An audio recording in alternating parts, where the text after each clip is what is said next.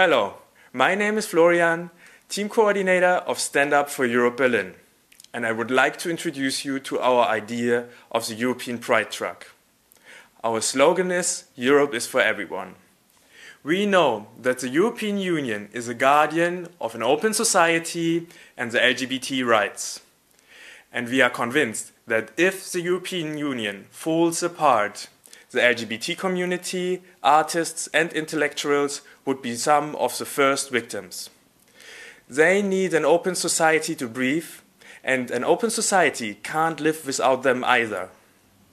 This is why we need to make the LGBT community aware that they need to stand up for Europe. We know the European Union is not perfect. Therefore, we stand up to reform it. It needs to be more democratic, more social, and more united.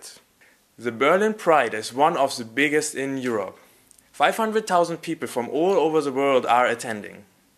We want to target everyone who is attending and want to bring a lot of revenue to all Stand Up for Europe city teams. Let's talk more about the truck itself.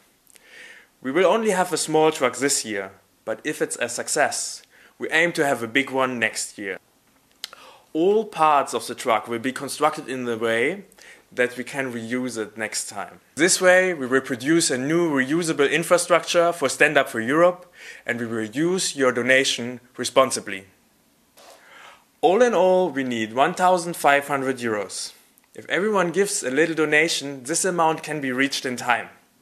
We also made Stand Up for Europe stickers and t-shirts, and if you give us a certain donation, we send them to you. We also have rewards that are interesting for companies like that we talk about your company on our Facebook page. With 100,000 likes, we reach up to 2 million users a week.